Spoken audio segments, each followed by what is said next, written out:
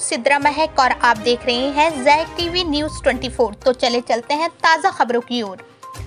मोटा पांडे में अचानक भरभरा कर गिरा गरीब का कच्चा मकान। लाखों का ज़रूरी सामान दबकर हुआ बेकार। मुरादाबाद जनपद के विकास खंड मुंडा पांडे ब्लॉक क्षेत्र की ग्राम पंचायत सीरस खेड़ा गाँव में आज उस समय हड़कप मच गया, जब एक पीड़ित मरीज़, महिला, पत्नी नजाकत का कच्चा मकान टीन शेड डालते वक्त अचानक से भरभरा कर गिर गया, जिससे पीड़ित का परिवार दबकर मामूली चोटिल हो गया और ज़रूरी लाखों की कीमत का खान पान का सामान दबकर बेकार हो गया।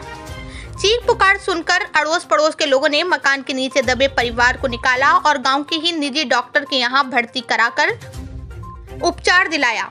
पीड़ित महिला, महाराज ने जानकारी देते हुए बताया कि पिछले कई सालों से उसका पति नजाकत बीमार रहता है और छोटे छोटे मासूम बच्चे हैं, जिनका पालन पोषण करने वाला कोई भी नहीं है। छोटा बेटा मेहनत मजदूरी कर घर का खर्चा चला रहा है। पीड़ित मिराज महिला पत्नी नजाकत ने कई बार ग्राम प्रधान और ब्लॉक अधिकारियों से प्रधानमंत्री आवास योजना के तहत आवास लेने की मदद की गुहार लगाई, लेकिन पीड़ित महिला को आवास नहीं मिल पाया।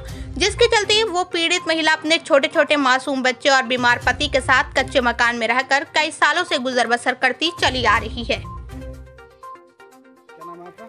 महाराज कौन से गाँव में रहते हो आप? सिरस के अच्छा क्या घटना हुई आज? गए हमारा घर गिर गया अपना आप ही किस चीज़ से बता क्या क्या ऊपर क्या था मतलब? ऊपर पूछना था कि तले थे हम तो सब। ऊपर ऐसे गिर को आया झकोले से। टीन है पूरी। हम्म, ऐसे हो गया ऐसे कोई फेंक मार जाओ।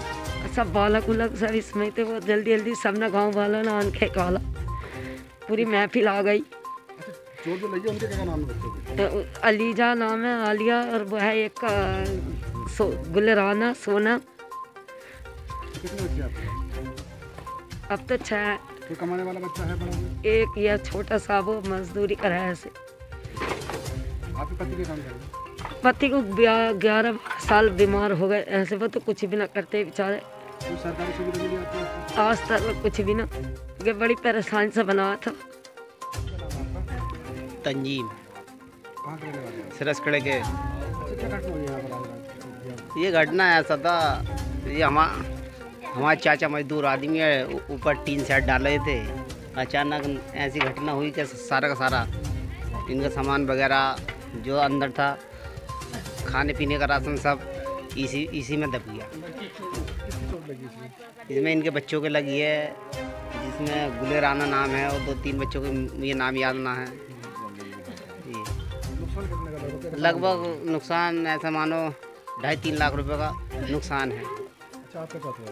आप हम ये चाहते हैं आप हम ये चाहते हैं आ, आपके चैनल के माध्यम से कि इन्हें ज़्यादा से ज़्यादा मुआवजा मिले। ग्राम प्रधान तक को हमने वोट दिए। उसका कॉल करी प्रधान तक ने यहाँ नहीं पहुँचा। अभी फ़िलहाल में इलेक्शन हुआ है। योगी जी को हमने वोट करा है। तो क्या चाहते हो आप? हाँ, हम ये चाहते हैं कि मुआवजा हमें मिलना चाहिए।